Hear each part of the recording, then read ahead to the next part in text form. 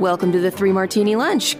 Grab a stool next to Greg Corombos of Radio America and Jim Geraghty of National Review. Three martinis coming up. Very glad to have you with us for the Monday edition of the Three Martini Lunch. Uh, Jim Geraghty is traveling for work for the first few days of uh, this week, and today we've got Rob Long, uh, co-founder of Ricochet, contributing editor at National Review Online, host of the Martini Shot podcast, co-host of the Glop podcast. I hear he's doing like a New York City bar crawl that he's somehow Yes. getting paid for. well, I, I don't know about getting paid for. I mean, that, that's a rare event that I get paid for. But yes, uh, May 14, join Ricochet and you get to come to a bar crawl. That's the fun. That's and we'll have some special sweet. guests here. And because look, you know what? We're, we're planting a flag. COVID's over. Well, the White House Correspondents' Dinner can gather at some twee little event and have their stupid prom. We can get together at a bar in New York and um, cause some trouble.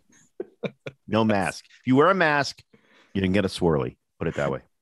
Wow. So it's just like prom. You know, somebody's you Yeah, still got right. your you guys still got your bullies, your people getting Yeah. swirlies and stuff. So well, I went to a fancy school, so we wouldn't do that. We would just, you know, withering witticisms about you in the corner. that's right. There's never bullying at fancy schools. Uh, so let's go on to our good martini. Uh, and uh, uh, Rob, uh, this is not necessarily good news on the top, although some people might uh, disagree with that. But I think overall, long term, this is a good thing.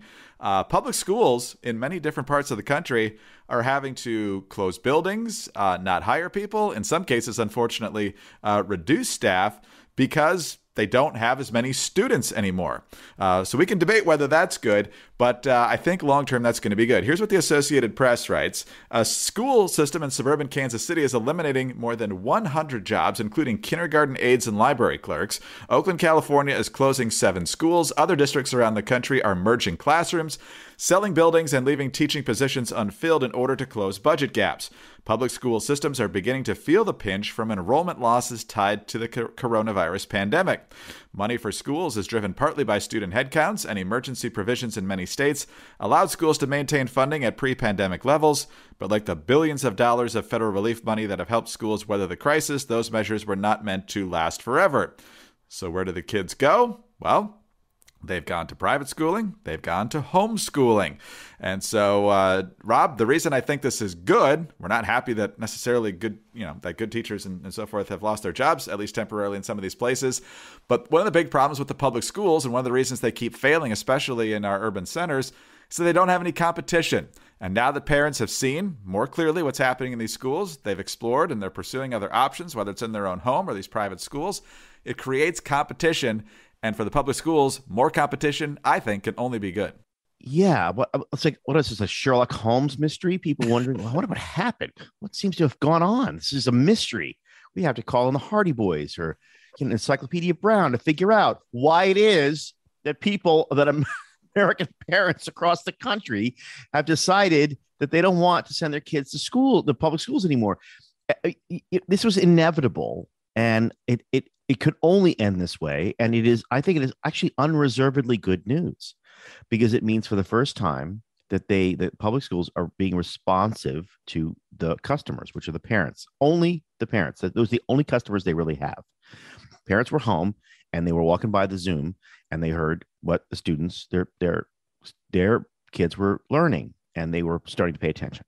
And they were paying attention in places like Florida. They were paying attention all over the country, and they just were not happy with the with the subject matters. They were not happy with the level of mastery that their children were displaying in the things that they felt that they needed.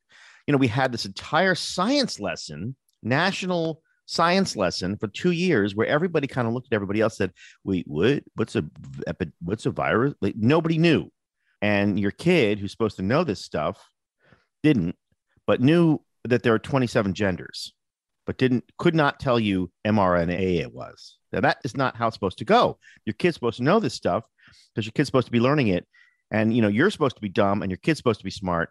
You, it's not supposed to be the other way around. And so I think parents thought to themselves, all right, well, we, we just did an experiment in homeschooling and it wasn't that bad. So why not keep going? And that was a disaster for the school systems and for the school bureaucracy who did who did the thing that bureaucrats always do when they're failing. They doubled down on failure. And so the last year or so, we haven't heard them say, okay, we're going to stick to our knitting. We're going to get back and roaring. It's going to be three R's. We're going to no. Instead, they've done the opposite, uh, which is what people do when they're in a death spiral. They just they double down. Um, this is unbelievably good news for people who care about education, education reform. The thing to do now is to press hard on the throat of the education blob. No mercy, push hard, break it in half, and maybe in the next two, three, four, five, six, ten years, we'll see an actual flourishing of real reform, real choice, and some real rigor where, where we desperately need it in secondary education, primary secondary education, um, which will be benefit everybody. I mean, the irony is this will benefit everybody, not just the smart kids, not just the at-risk kids, but I mean all, the trans kids. Like, I don't know why all of a sudden the trans kids don't have to know this hard stuff either. Everybody's got to learn that the future is going to be more complicated, more technological than the past. And if you are not prepared, it does not matter what you want your gender to be. If you're running the drive-through line for a fast food company that is owned by the Chinese. a couple of thoughts uh, in follow up here, Rob. A few days ago, I was watching uh, an old Western, uh, The Man Who Shot Liberty Valance. I'm sure you've seen it. Uh, John Wayne and, and, Jimmy Stewart. I mean, with that, that, cast, you can't go wrong. They literally devote, I, I, think, like three, four, five minutes to Jimmy Stewart teaching the town a civics lesson. He's you know the lawyer that comes to town, and it's this uh, you know honest, straightforward, accurate uh, explanation of how our government works. There's not a, a cynical approach to it, and I'm like, where is anybody like this? Not only in Hollywood, but in uh, establishing you know public school curriculums. I'm sure there are, are, good civics teachers and good civics programs in certain schools around the country, but it's not like it was, uh, from what I understand. You look at these surveys of whether people can name the three branches of government, and you know, they can pass you know some of the questions that uh, incoming citizens um, have to have to answer. Uh, it's it's pretty pathetic. So uh, a little more of that, a little less of the uh, cultural uh, propaganda. Sure, I mean the cultural propaganda. I always thought to which should be the the big offer to the progressive teachers union should be like, okay, look, you could that's your that's the sun that's the ice cream sundae, the dessert at the end of the meal. If you can show proficiency, if your students can you know, arrange great big American historical events on a timeline in the right order, and uh, you know uh, do some quadratic equation stuff and you know i don't know like code in a certain you know advanced computer language. Then you could teach them all the nonsense you want. But you first they have first have to be able to write an english paragraph that makes sense and do all those other things. Do that first. And then you know if then if you finish early right you you accomplish that by 10th or 11th grade you know 12th grade can be just this you know, circus of trans sex, whatever you want, man. Yeah, you can I'm go to town to... on that. As long as they, as long as they could do all the stuff we want them to do, they're yours. They could, you know, the boys can have to wear makeup and dresses. I don't care what you want to do for the senior year, as long as they could do the hard stuff. But they don't want to do that. They want to do the easy, fun stuff first. They want to, you know, creep them out with all the sex stuff first. It's like, uh-uh, do the hard stuff first. Um, and the parents, of course, aren't putting up with it. This is unreservedly good. It's going to be ugly. It's going to be hard. We don't have the stomach for it as a culture because we're going to start seeing teachers really unhappy. We're going to start to see schools being closed. And Americans like teachers. They like schools. They like education. But it's the, this is the only way. It's gone too far for too long. Um, things need to be turned over. Yeah, I'm gonna have to disagree with you on that. I think if you master the basics, you should just go harder to harder subjects in those categories okay, than, all right, all than, right. than, the nonsense. But you know, all right. Well, you know, uh, I'm I'm I'm a I'm a squish. I'm a rhino. That's the, you know what we rhinos do. Will they learn their lesson though? That's the question, or they just keep doubling and tripling down. That's that's that's what I suspect will happen at least initially, as long as you got people like Randi Weingarten calling the shots. Uh, but you, you can only call the shots if there are kids in the classroom. If there are no kids in the classroom, you can have a lot of teachers having you know rainbow uh rainbow parade uh, trans day and no kids to march you know. What what what if you threw an indoctrination and there were no students to indoctrinate? Well that would be one upside of this but uh wow yeah, crazy, but uh, hopefully encouraging. And uh, Republicans and whoever, school choice, uh, keep pushing school choice. Give parents more options at, at the state level, and uh, you will do very well electorally, especially right now. Make that a primary issue this year, uh, and uh, the outlook will be even better. All right, uh, Rob, let's take a, a quick look at our first grade sponsor of the day. And, uh, you know, Mondays are hard, but what if you knew you had free filet mignon coming to your house every month? I think that would uh, encourage me uh, to get a good start to, to, to Monday and, and just just in general. But uh, you know, um, the meat situation in this country It's a little complex. 60% of U.S. pork production comes from one company. It's owned by the Chinese. And their hogs are given something called ractopamine, which is banned in 160 countries, including China. Yep, some reason we can still find it in our grocery aisle every day. But there is a better way, and I'd like to tell you about Moink. And Moink, as we'll explain here in just a moment, and I've mentioned many times, a fantastic service to get the best quality meat delivered straight to your doorstep. Yeah, Moink is moo plus oink delivers grass fed and grass finished beef and lamb, pastured pork and chicken, and sustainable wild caught Alaskan salmon. It is straight to your door. Moink farmers farm like our grandparents did. And as a result, Moink meat tastes like it should because the family farm of course, does it better. The Moink difference is a difference you can taste and you can feel good knowing you're helping family farms stay financially independent too. You choose the meat delivered in every box, like ribeyes to chicken breast to pork chops to salmon fillets and much more. Plus, you can cancel any time.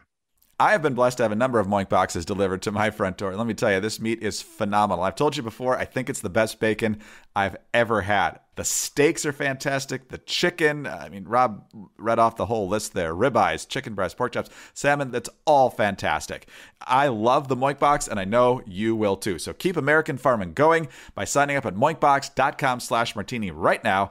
And listeners to the Three Martini Lunch will get free filet mignon in every order for a year. That's one year of the best filet mignon you'll ever taste, but for a limited time. That's spelled M O I N K box.com slash martini moinkbox.com slash martini. Let's uh, go to our bad martini now.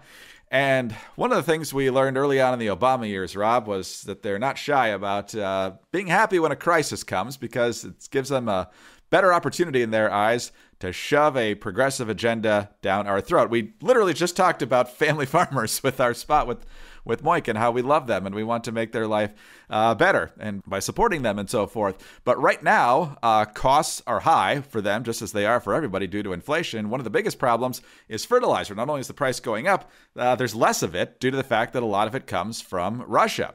And so, uh, Biden administration official Samantha Power, for Obama, she was at the UN. Uh, she goes on this week, the ABC program, and basically celebrates this problem, literally saying never let a crisis go to waste because this is the transition opportunity uh, to more natural things. Fertilizer shortages are real now because Russia is a big exporter of fertilizer. And even though fertilizer is not sanctioned, uh, less fertilizer is coming out of Russia. As a result, we're working with countries to think about natural solutions like manure and compost, and this may hasten transitions that would have been in the interest of farmers to make eventually anyway. So never let a crisis go to waste, but we really do need this financial support uh, from the Congress to be able to meet emergency food needs so we don't see the cascading uh, deadly effects of Russia's war extend into Africa and beyond.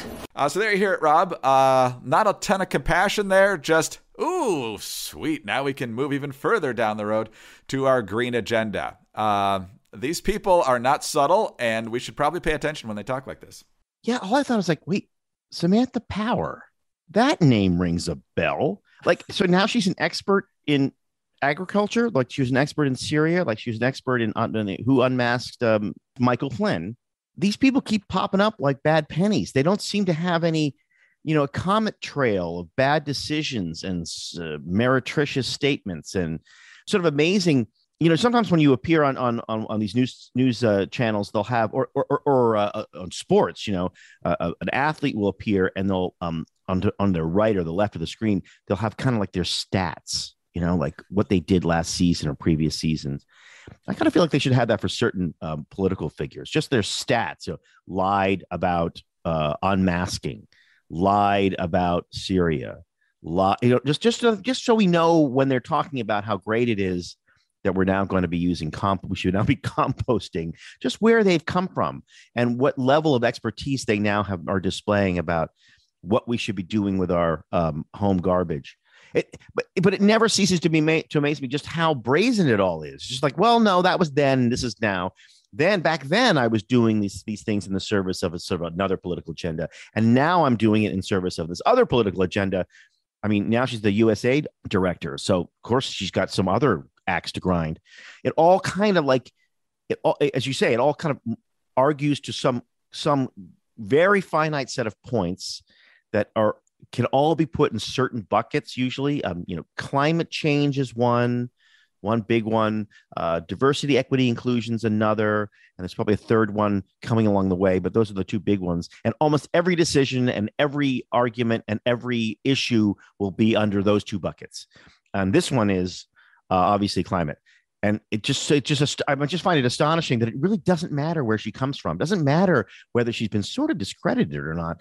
It, what matters is that she can spin anything: the war in Ukraine, um, uh, uh, an agricultural crisis, into an area of her own personal expertise and her own axe to grind.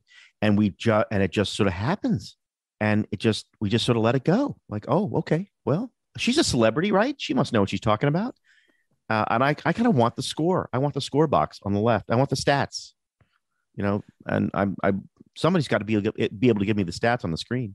The thing that always amazes me about the left is not only are they happy we're suffering in the moment, their solutions almost always mean more suffering.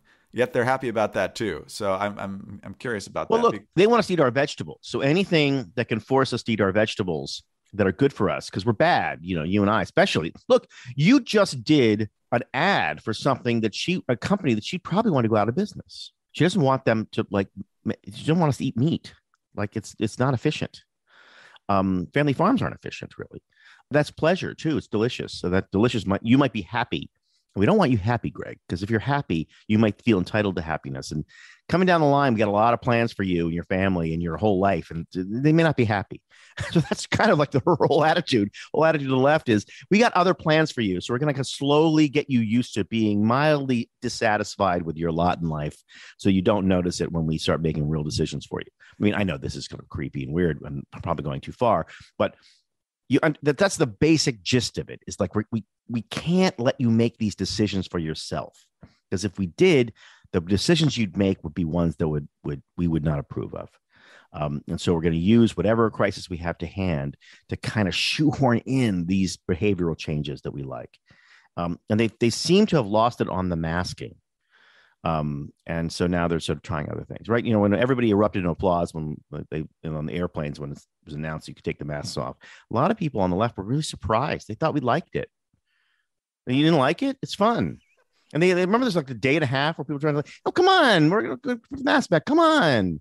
And that's kind of what this is. No, come on, we're gonna all gonna put the composting now. Like, no, I'm not gonna do that. I'm gonna throw the garbage out like a human being. And that, that they just don't, it just doesn't compute. They can't believe that we don't all want to live that way. Um, the only way to make us live that way is to literally make us live that way.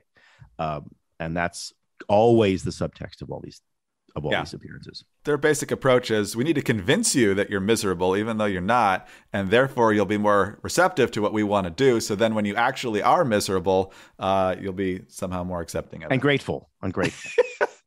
Well, if our cynicism about progressivism, not inaccurate, but if it's worn you out a little bit, uh, we can understand. And for that, uh, you might want to rest up on some quality products from My Pillow. And right now, they've got a fun deal going. It's a BOGO, buy one get one extravaganza on a lot of their different products. Uh, there is the My Pillow bed sheets as low as $59.98, uh, the Elegance My Pillows as low as $49.98, uh, and the Roll and Go Anywhere My Pillows $29.98, and so much more. We have talked about the six piece towel set a lot here on the Three Martini Lunch, especially in the past few weeks. But today we're going to focus on the Roll and Go Anywhere My Pillow. Rob, what is that all about? It's really awesome. You could use it on your couch, your recliner, your car. It's versatile enough to take it with you on vacation, anywhere you go. It's available in multiple colors and patterns. It's machine washable, of course. It's dryable. You have a 10 year warranty, a 60 day money back guarantee, which is crazy for a pillow. Yeah, that's that's really good. That's one of the very few My Pillow products I haven't gotten to try yet, but uh, certainly looking forward to the opportunity Hint, hint. It's a buy one, get one extravaganza at mypillow.com slash martini. Bed sheets and My Pillows are just the tip of the iceberg. Find the full list of buy one, get one offers by visiting mypillow.com slash martini or call 800-874-0104. Stock up with buy one, get one free savings today and get Mike Lindell's free book with any purchase. mypillow.com slash martini or call 800-874-0104. mypillow.com slash martini. All right, Rob, you've alluded a couple of times now to uh, masking theater. You talked about uh, Nerd Prom, the White House Correspondents' Dinner, uh, and then also uh, the shock of the left when people were actually happy they didn't have to cover their faces for hours on end on airplanes and so forth. Uh, we'll see how the courts ultimately rule on that. I think I think the lifting is going to stand, but we'll see. Uh, when it comes to the border, though, the government's been very curiously uninterested in whether people have COVID. They weren't testing people as they flooded across the border, uh, unless they were obviously symptomatic, but it certainly wasn't uh, the type of scrutiny that you and I had to go through to get into different places there for a couple of years. And now uh, the Biden administration isn't going to worry too much about uh, vaccinations of these migrants either, when, of course, they wanted to make all of us get vaccines or lose our jobs. Remember that? I think they're trying to memory hole that one before November, but uh, yeah, that was going on. Uh, the Free Beacon. The Biden administration appears to have abandoned its effort to ensure all migrants apprehended by immigration authorities are inoculated against COVID 19 just a month after the White House said vaccines would be mandatory. According to several individuals familiar with the matter, some of whom requested anonymity to speak candidly, Border Patrol officials in the Rio Grande Valley are exempting migrants from such countries as Guatemala, Haiti, and Mexico. That's going to be a lot of the people. Uh, and migrants from Nicaragua, uh, Cuba, and Venezuela must only receive one dose of the vaccine before they are released into the U.S. interior. Notice the implication uh, that uh, as long as you get your jab, they're going to let you into the country. There's, there's, there's a, where's the scrutiny of uh, maybe turning you back around because you didn't do it the right way? Ah, no, this is the this is the Biden administration. They don't do that. So, uh, Rob, what do you make of the really quick turnaround here? Well, like two things. One is, I mean, you know, I think this is great news uh, because obviously the first jab will allow Bill Gates to track them, as you know. don't don't deny it. Um, the interesting thing is, of course, to fly in from, you know, if you're an American citizen, you want to come in uh, to the United States, return to the United States from Mexico. I think you still have to show a negative COVID test, or you did until very, very recently. Um, so like it's it's harder to get back into the United States from Mexico as an American than it is apparently to get into the United States uh, just to run across. Um, the, the, the, of course, the problem is that you have to if to, to, to, get a second jab means you have to wait around somewhere. Um, to wait for the second jab, where would you wait? Probably in a cage somewhere, which would be another problem. Like the, the, the irony about it is that for every president, including the previous one, this border issue has been trouble because it's never as easy as it seems. It's not as it's hard to build a wall. It's hard to get Mexico to pay pay for it. It's hard to like figure out what to do with people when they come to the border, where to put them. Eventually, you put them in kind of an open air situation that resembles a cage. Like everybody looks terrible and incompetent when you're faced with a border crisis because there's just just we have these crisscross regulations and we have layers and layers and layers of stupidity over the past 30, 40 years uh, on our, um, well, actually 50 years probably since 68 of our border policy uh, for southern border policy. So it, anything that adds to the complexity is going to add also to the stupidity. So it's it so this was not this was destined to be stupid no matter what the biden administration did. This just highlights that of course because because it also reminds you that none of the policies about being, being vaccinated, but also about social distancing and masking and our COVID policies made sense anyway. Because of course these people have been outside, so they're probably you know they're safe outside. A lot of them are young, so they're not really at risk. Um, they they don't need that. They don't really need to mask. They're a very low risk population. We shouldn't really be worried about them too much. Uh, but of course, because we've created a COVID theater for the past two years, we kind of have to pretend to be worried about them. Um, and then, of course, the very people who have this policy of sort of incredibly weird uh, illogic with regards to vaccine, vaccinating the illegal immigrants crossing the border are then sitting in the, I guess it was the Capitol Hilton at the White House Correspondents' Dinner, dining on whatever they're dining on, being served by servers who are masked themselves at a time that they don't need to be masked. Um, so the if you're watching this at home and trying to make sense of it, there is no consistent, logical, rational COVID policy from any part of the federal government at any point in its day, whether it's enjoying a meal out, it's having a ceremonial event, it is uh, making immigration policy. At no point does any of it make sense. Um, And if you wonder why Americans don't have faith in institutions or why Biden's popularity, I think, is now so close to seven um, or whatever, uh, that that's why. It's because none of it, none of it makes any normal sense to any normal American paying a normal amount of attention to this. Just checking in every now and then with the Biden administration, and you're just greeted with more weird, irrational, totally illogical, uh, kind of bedlam style decision making. Um, and so no wonder they have the contempt of the American people. That's all all they do every day, every minute is earn it. As a local radio host says here in the DC area, if the left didn't have double standards, they'd have no standards at all. So- but double at least double standards they have quadruples like it's double standards at least you could understand you could predict they, these are like b- bananas they're like hard to figure out like all you really know about them is that whatever it is uh, uh whatever loopholes that they have you don't get them they're not for you right. wow rob uh, I think we were appropriately cynical today. Maybe a little more than maybe yeah. a little more than Happy usual. Monday, everyone. but hey, reality check, right? Yeah. So, right.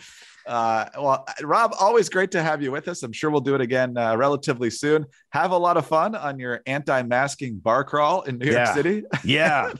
if you want to know more about it, go to ricochet.com. Uh, join Ricochet. Come uh, and we'll uh, we'll celebrate the the the we'll have our own White House Correspondents' Dinner. Um, uh, maybe maybe definitely more fun. and funnier. I can guarantee it'll be funnier. For sure.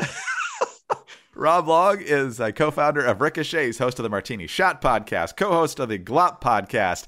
Uh, he is uh, also contributing editor at National Review Online. In for Jim Geraghty today, I'm Greg Corombos of Radio America. Thanks for being with us. Do subscribe to the podcast if you don't already. Uh, thank you so much for your five star ratings and your kind reviews. Very much appreciative of those, and they help us out. Uh, find us on your home devices. All you have to say is play Three Martini Lunch podcast and follow us on Twitter. Rob is at RCBL. Jim is at Jim Geraghty. I'm at Dateline underscore DC. Have a great Monday, and please join us again on Tuesday for the next Three Martini Lunch. Arizona Attorney General Mark Brnovich joins me to discuss his winning legal fight against the Biden administration to keep Title 42 in place. I'm Sarah Carter. On the latest Sarah Carter show, Brnovich also makes his case to be the Republican nominee for the U.S. Senate. And I'll take aim at Biden's Orwellian Disinformation Governance Board and what the left's real vision for the future of our country is. Join us. Follow the Sarah Carter show at Apple, Spotify, or wherever you get your podcasts.